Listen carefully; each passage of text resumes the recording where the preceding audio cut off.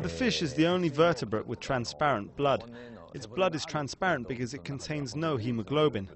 which usually gives blood its red color and carries oxygen. その赤血球はわずかにあるんですけどもその中に普通は持っているヘモグロビンという組織を持っていないんですでどうしてそういうふうにヘモグロビンをなく Scientists still need to find out how it lost its hemoglobin,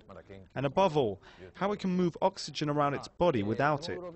This question is still surrounded by mystery, but maybe it's somehow related to the fish's large heart. があってまずは、えー大きな心臓を持っています日本水産にも、えーえー 協力してもらいまして This fish was brought to us from Antarctica in a fishing boat run by Nippon Suisan.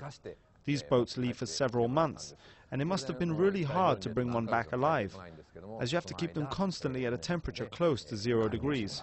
とても低い水温で管理をしないといけないので大変だったと思いますけれども、えー僕自身は、えー食べたことがないですけれども I never tried it myself, but according to fishermen who have eaten it on the boat several times, it tastes really good. なんですがとても美味しいと 言ってました。